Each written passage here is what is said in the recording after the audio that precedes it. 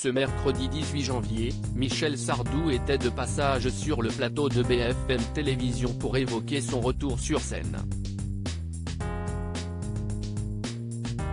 Connu pour son fort tempérament, le chanteur s'est lâché en évoquant la polémique sur Omar Sy. Depuis le début de l'année, Omar Sy est à l'affiche de Tirailleurs. L'occasion pour lui de faire la tournée des médias afin de promouvoir son film. Début janvier, il donnait une longue interview aux Parisiens dans laquelle il partageait son avis bien tranché sur certains événements d'actualité, et notamment sur la guerre en Ukraine.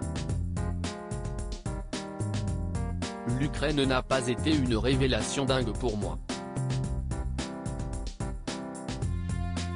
Comme j'ai de la famille ailleurs, en Afrique, je sais qu'il y a toujours eu des enfants en guerre, des familles brisées.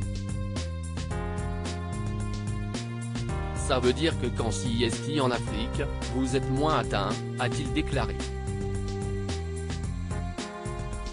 Des propos qui ont fait réagir des politiciens comme la députée européenne Nathalie Loiseau et des talk shows comme Télématin.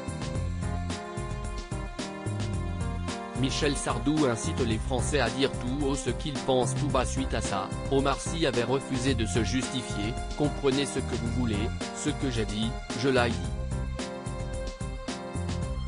Je le pense et je l'assume. Je ne dois rien à personne, je suis français, déclarait-il sur le plateau de Quotidien.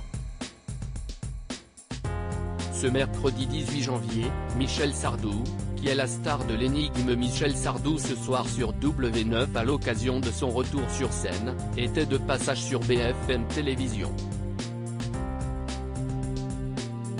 Le chanteur, connu pour ne pas avoir sa langue dans sa poche depuis des décennies incite les personnalités à faire comme lui à dire ce qu'elles pensent vraiment, soyez sincères, dites ce que vous voulez.